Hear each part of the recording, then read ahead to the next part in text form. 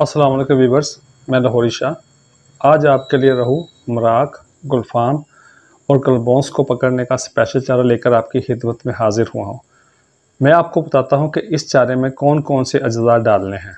इससे पहले आप मेरे चैनल को सब्सक्राइब करें और बेल के निशान पर क्लिक करें, ताकि मेरी नई आने वाली वीडियोस का नोटिफिकेशन आपको मिल जाए।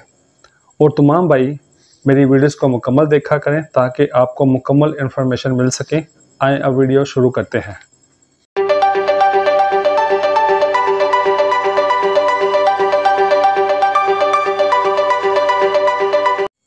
इस चारे में जो जो अज्जा शामिल हैं, उसमें चावल का आटा, जौ का आटा, घर वाला आटा, राइस पॉलिश और शक्कर। इसमें हम एक चीज़ और ऐड कर रहे हैं, वो है सुपर बिस्किट। इसकी खुशबू और मिठास बहुत ज़बरदस्ती है। आए वीडियो की जी वेबर सबसे पहले हम ये जो सुपर बिस्किट है, ये हम इसमें डाल देते हैं। ये एक पैकेट डाल देते हैं। इसके बाद हम इसमें पानी ऐड कर देंगे और इसे हम थोड़ी देर के लिए भीगने के लिए छोड़ देंगे ताकि ये मिक्स हो जाए।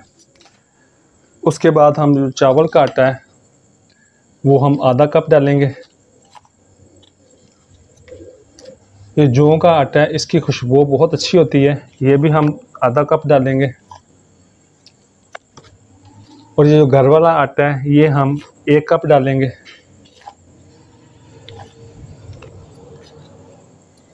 और ये राइस पॉलिश, ये भी हम आधा कप डालेंगे। उसके बाद ये शक्कर है, ये शक्कर हम, ये भी आधा कप ही डालेंगे। अब हम इसे ऐसे ही खाली, बगैर पानी के अच्छी तरह मिक्स करेंगे।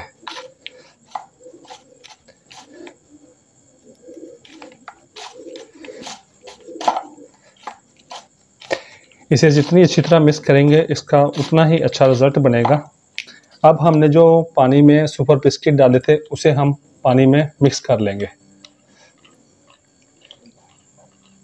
और इसी पानी से हम ये आटा थोड़ा थोड़ा पानी डाल के इसी से हम ये आटा गूंदेंगे। इसका रिज़ल्ट बहुत अच्छा है। इसमें रहू मराक गुलफाम और कलगोस, ये सारी मछलियाँ इस पर बहुत अच्छी अट्रैक्ट होती हैं और बहुत अच्छा से शिकार होता है। इसमें हम थोड़ा थोड़ा सा करके ये डालते रहेंगे।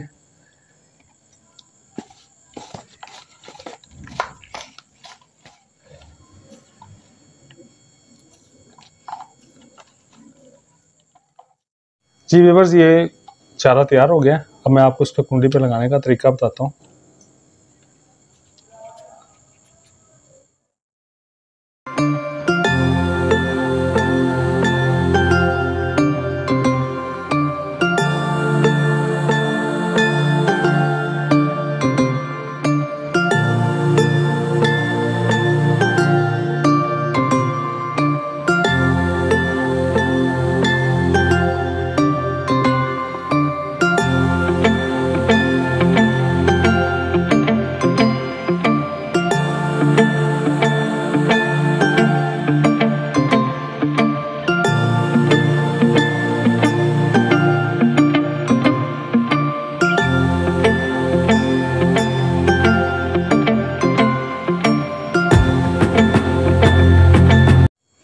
जी वेवर एक मैंने आपको तरीका कुंडी पर लगाने का पहले बताया और एक तरीका इसका ये भी, ये इसका गोला बनाते हैं छोटा सा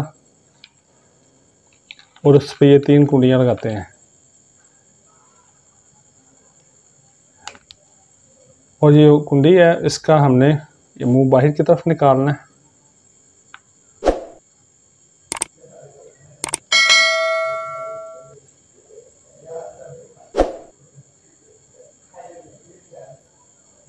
जी व्यवर्स ये बेहतरीन चारा तैयार हो गए नेक्स्ट वीडियो के लिए अल्लाह हाफिज़।